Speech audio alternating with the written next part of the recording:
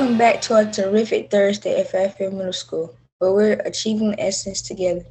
We're home with Griffin Pride, what Pride stands for. P is personal responsibility. R, respect. I, individual readiness. D, demonstrating learning. And E, effective behaviors. Please stand for the Pledge of Allegiance.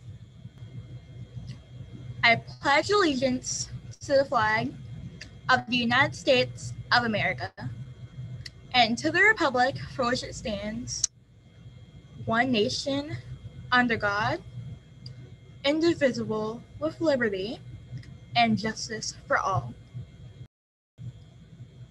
Please pause for a moment of silence.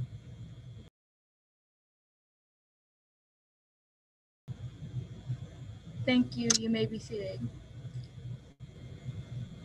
The character word for the month of February is kindness. Kindness is the quality of being warm hearted, considerate, humane, and sympathetic. What does kindness look like? People who are kind refuse to tease or ridicule others, show concern when someone is in need, practice acts that meet the needs of others, take care of the environment, treat everyone fairly, and practice acts that make others happy.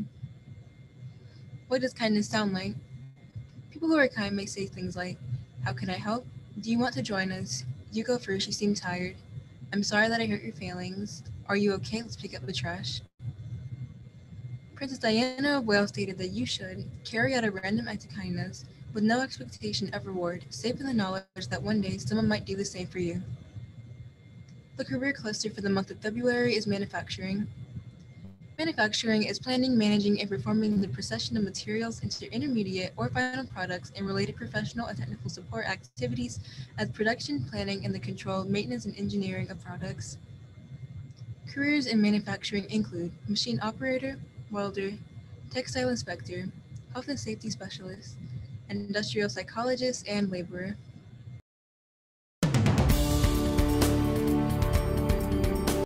Announcement. Academic Challenge students are to report to room 103 upon announcement at the end of the day.